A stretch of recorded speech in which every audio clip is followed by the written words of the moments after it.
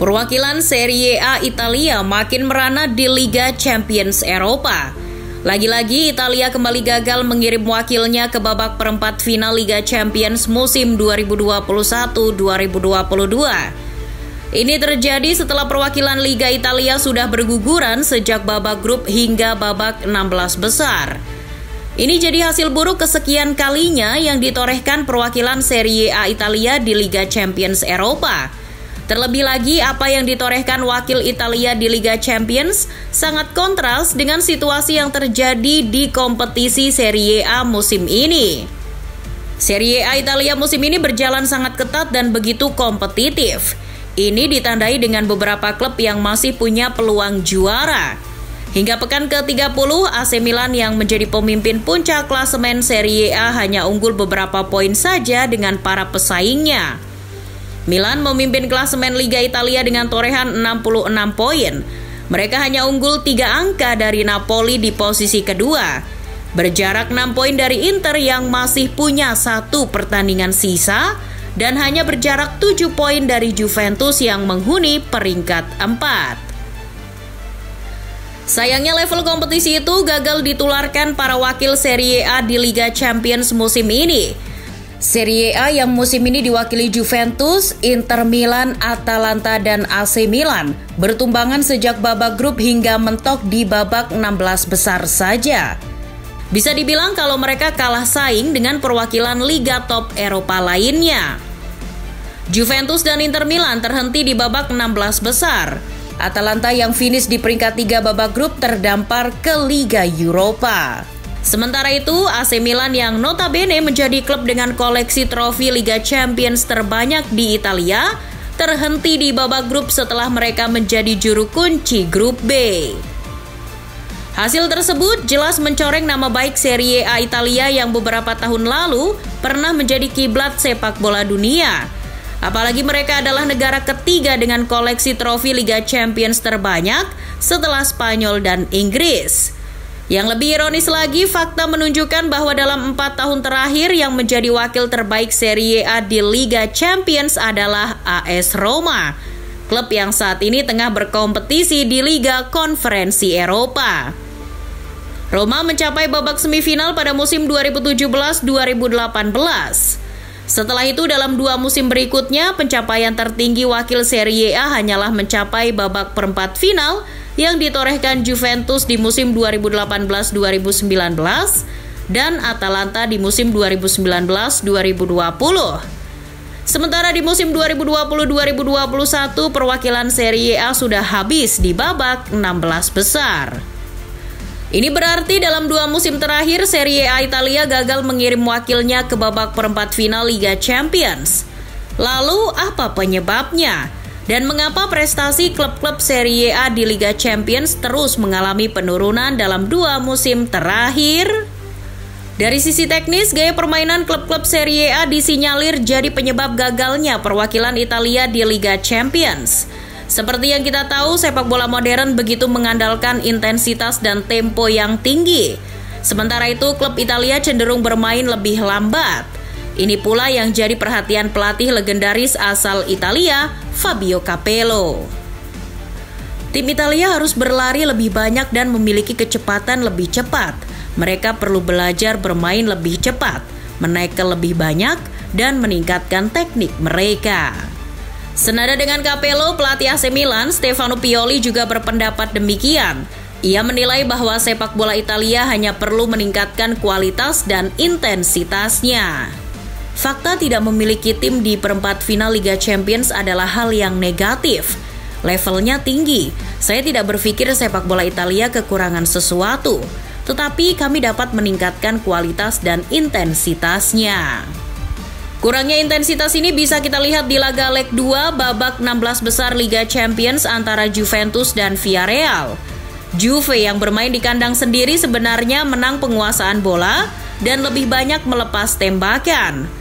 Namun si Nyonya Tua kebobolan 3 gol dalam tempo 15 menit terakhir yang membuat mereka kalah agregat 4-1 dari Villarreal.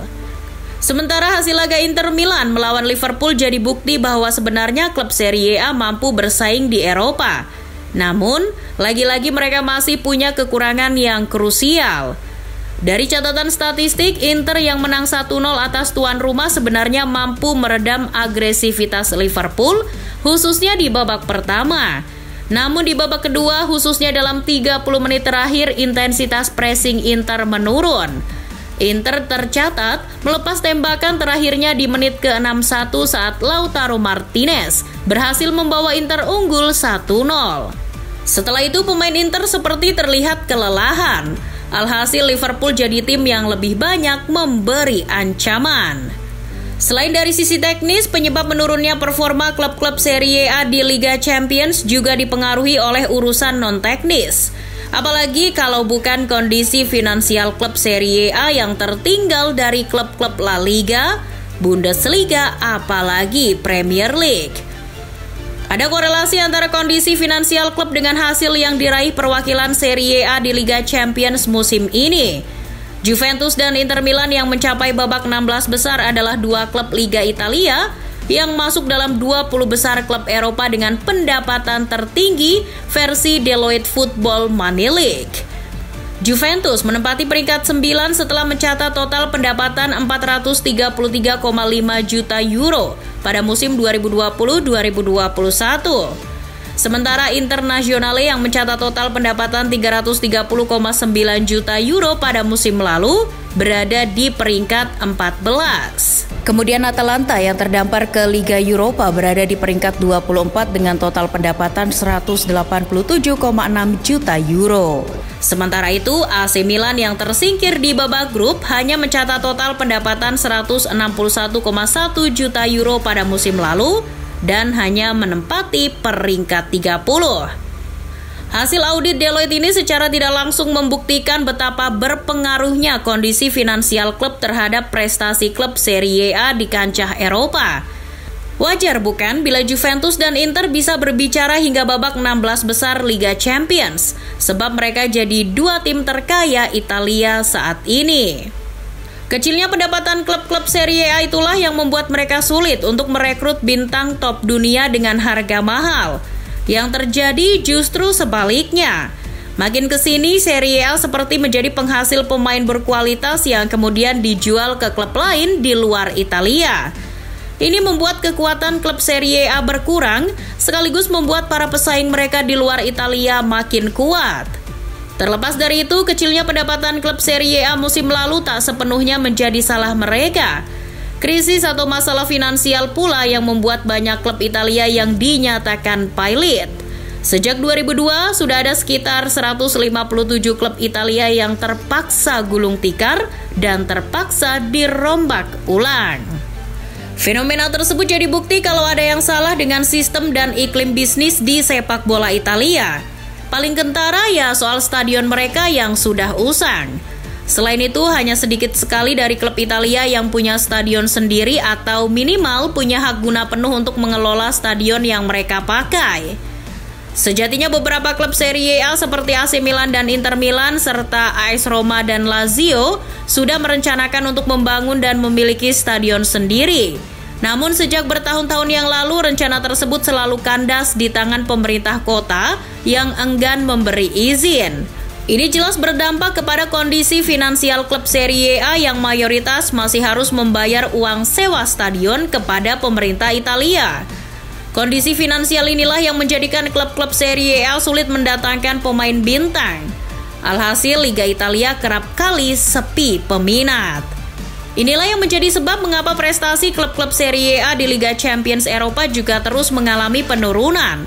Serie A mesti berbenah, baik dari sisi teknis seperti taktik dan gaya permainan, hingga urusan non-teknis yang terkait dengan finansial. Mau bagaimanapun juga, panggung Serie A masih kalah bila dibanding dengan La Liga dan Premier League. Pengelola Serie A mestinya menyadari hal ini mereka harus segera mengejar ketertinggalan mereka. Sebab jika wakil Serie A gagal menorehkan prestasi apik di kancah Eropa, bisa-bisa nilai koefisien mereka turun dan jatah tiket ke Liga Champions mendapat pengurangan.